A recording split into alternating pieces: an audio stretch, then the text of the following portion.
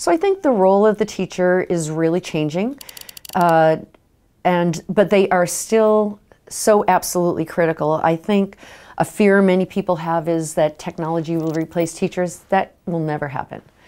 The teacher is critical to the classroom, and the role of technology is to enhance their instructional practice, to create efficiencies, to make them more available to the children.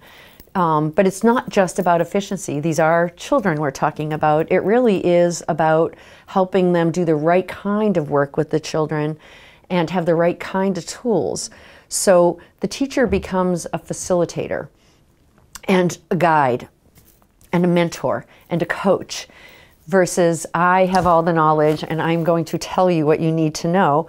They're really enabling the children to explore and discover. And what's really lovely about this is we also know from cognitive research that when children experience, their retention is much better. Their ability to apply what they learned is much better. So we also know that it's the right thing to do.